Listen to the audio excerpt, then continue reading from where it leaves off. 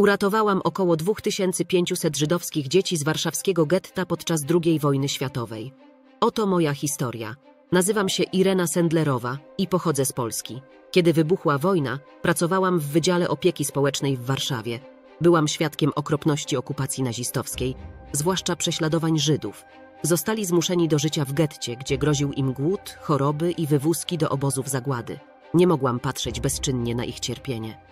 Postanowiłam dołączyć do polskiego podziemia i pomóc im w każdy możliwy sposób. Zdobyłam przepustkę, która pozwoliła mi legalnie wejść do getta pod pretekstem walki z epidemią.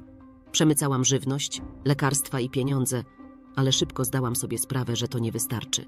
Z pomocą kolegów i przyjaciół zaczęłam kontaktować się z żydowskimi rodzinami i namawiałam je, by powierzyły nam swoje dzieci, abym mogła je ukrywać wśród polskiej ludności. Wiedzieli, że to ich najlepsza szansa na przetrwanie.